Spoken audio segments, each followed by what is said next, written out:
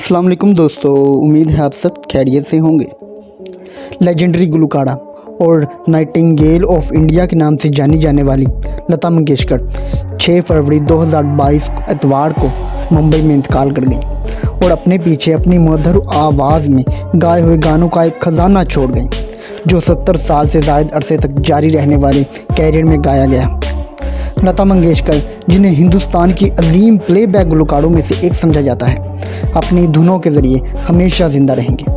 मोहम्मद रफ़ी, किशोर कुमार और मुकेश के साथ इनके सोलोज और लाफानी ड्यूट दीगर मुमताज़ हिंदुस्तानी गुलकारों के साथ हिंदी सिनेमा के सबसे यादगार गानों में से हैं। आज की इस वीडियो में हम लता मंगेशकर की ज़िंदगी के कुछ ऐसे हक़ जानेंगे, जो जानने के बाद आप कहेंगे अनबिलीवेबल यार अनबिलीवेबल तो चलिए वीडियो का आगाज़ करते हैं।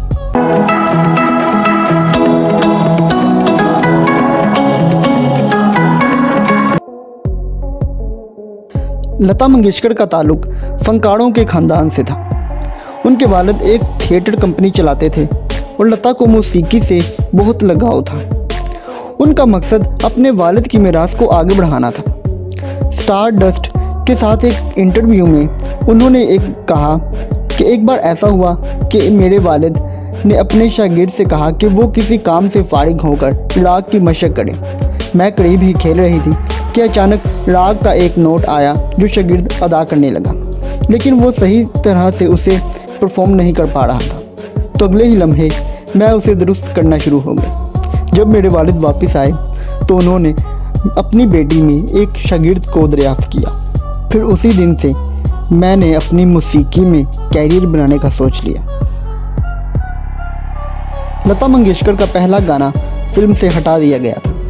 लता ने अपने कैरियर का पहला गाना नाचो यागड़े खेलो साड़ी मानी, हौस भड़ी 1942 में एक मराठी फ़िल्म कटी हसाल के लिए रिकॉर्ड किया। लेकिन बदकिस्मती से इस गाने को फ़िल्म के फाइनल कट से हटा दिया गया था। लता मंगेशकर एक बार म्यूज़िक कंपोज़र नौशाद के साथ एक गाना रिकॉर्ड करते हुए बेहोश हो गई। उन्होंने फ़र्स्ट पोस्ट के साथ एक इंटरव्यू में इस बात का इंकशाफ किया और कहा, हम गर्मी की एक लंबी दोपहर में एक गाना रिकॉर्ड कर रहे थे। आप जानते हैं कि मुंबई गर्मियों में कैसा होता है। इन दिनों रिकॉर्डिंग स्टूडियोज़ में एयर कंडीशन नहीं था और फाइनल रिकॉर्डिंग के दौरान छत का पंखा भी बंद कर दिया गया था। तो इस गर्मी के आलम में मैं बेहोश हो गई। आप ये जानकर हैरान होंगे कि एक सुरीली आवाज़ रखने वाली लता मंगेशकर ने कभी अपने गाने नहीं सुने। लता मंगेशकर ने एक बार बॉलीवुड हंगामा से बात करते हुए कहा था कि वो अपने गाने खुद नहीं सुनती। अगर वो ऐसा करें तो उन्हें अपनी गायकी में सौ खामियाँ नज़र आएँगी। मदन मोहन, लता मंगेशकर के पसंदीदा म्यूज़िक डायरेक्टर थे। लता मंगेशकर के मुताबिक, उन्होंने जिस बेहतरीन म्यूज़िक डायरेक्टर के साथ काम किया और जिनके साथ उनका खास रिश्ता था, वो मदन मोहन थे।